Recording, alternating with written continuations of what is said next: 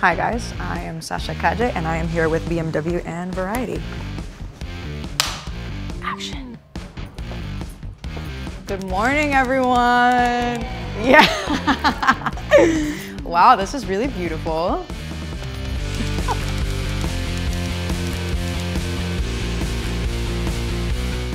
Yes, well, we love the grungy lived-in liner. I think it's like my uh, my go-to. I think that for me, it's it's very it's always kind of very the same. I kind of like like a wet look um, for my hair.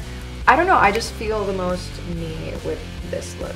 One of my like ticks is to run my hands through my hair, so it needs to be um, Malleable. malleable. Is the right word? This is the look for today. I love a uh, black slack and uh, a white shirt.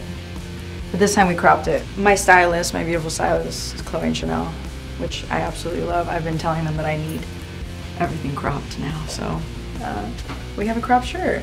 Looks amazing. So what we're gonna wear. So I'm gonna change, and you guys can't be there. I'll be back.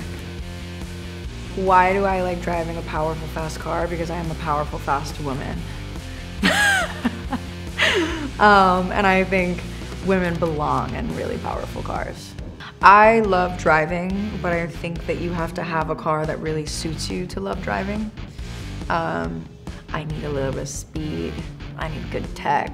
The BMW X3 also has an incredible sound system, and as a musician, I need to hear it. When I finish a song in a studio, sometimes producers get mad at me for it, but um, I always ask for a demo immediately as we leave the session.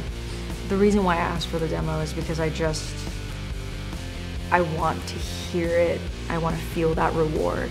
And it's that moment in my vehicle, like getting in there, connecting my phone, tapping the song and listening to it as I'm driving home. There's something so satisfactory about it and I feel very proud of myself.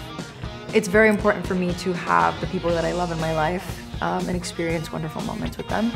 Um, and also my beautiful Great Dane Dragon, who is massive and he's black and white. And usually sometimes I guess I match him because I wear black and white a lot.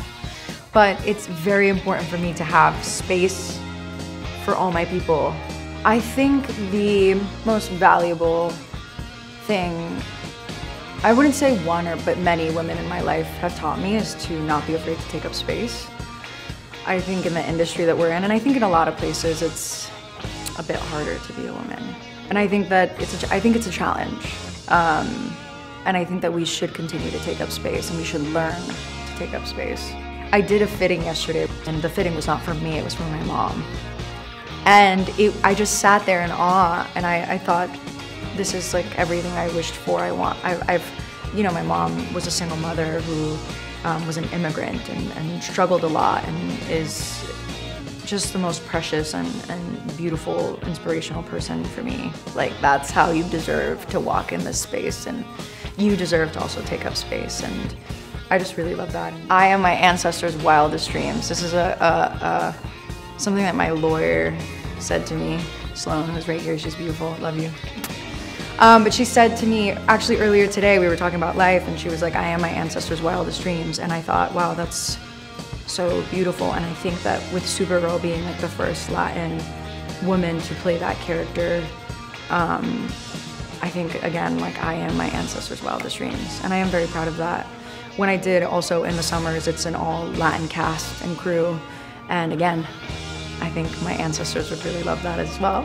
And then I just did a uh, queer um, romance film that I think is very special, and I think also my ancestors' wildest dreams. I'm just very, very proud, and I, I try to, I guess, like um, manifest projects that really feel close to me, that feel like they're very meaningful for me in a way.